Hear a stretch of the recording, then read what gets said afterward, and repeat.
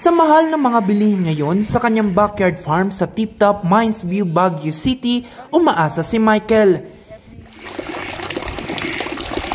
Sinimulan niya itong itayo noong nagsimula ang pandemya. Uh, ma-develop tsaka dagdag kita na rin. Mag-alaga ng mga manok, isda.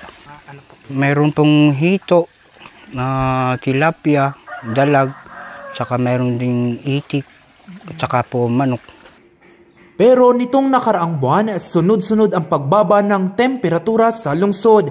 Kaya hindi raw maiwasan na maapektuhan ang mga alagang isda. Dito sa klima natin, uh, medyo talagang medyo matagal silang kwan, lalo na pag taglamig, lumaki. Kaya ang ginagawa ko na lang, para magana silang kumain, mga yung 10 AM na, doon na ako nagpapakain. Tapos 6 PM naman pag kwan, hapon. Apektado rin dito ang kanyang mga alagang manok at itik.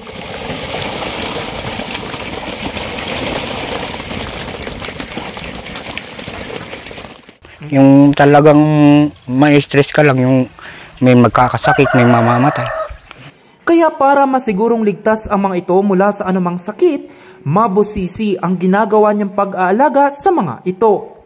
Palaging malinis yung mga tubig nila, pagkainan nila. Araw-araw na pinapalitan yung mga tubig, inumin nila. Para hindi gaano magkasakit. Pag tag-ulan naman, kailangan nilalagyan din nila ng vitamina para iwas magsipon. Madalas kasi pag tag-ulan, doon sila maraming nagkakasakit. Sa ngayon, mayroon siyang limang fish ponds at balak pa niya itong dagdagan sa pagpapaganda ng kanyang farm. Unti-unti na din kasing nakikilala ang kanyang farm bilang agri-tourism site. Man sir, lalo na pag masisigla yung kwan, na natatanggal rin yung pagod mo. Pawala din naman ng kwan yan. May stress ganun. Pwede kasing manghuli ang mga turista ng isda at kumain habang ini-enjoy ang magandang tanawin. Bukas ang kanyang farm para sa mga turista mula alas 6 ng umaga hanggang alas 6 ng gabi.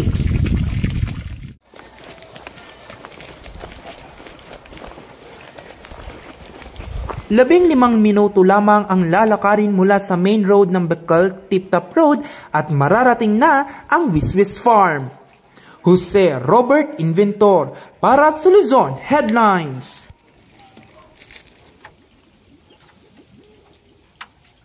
Ang bahaging ito ay hatid sa inyo ng King's Vita Plus Animal Feed Supplement. Alagang King's Vita Plus, kikita ka na, aasenso ka pa.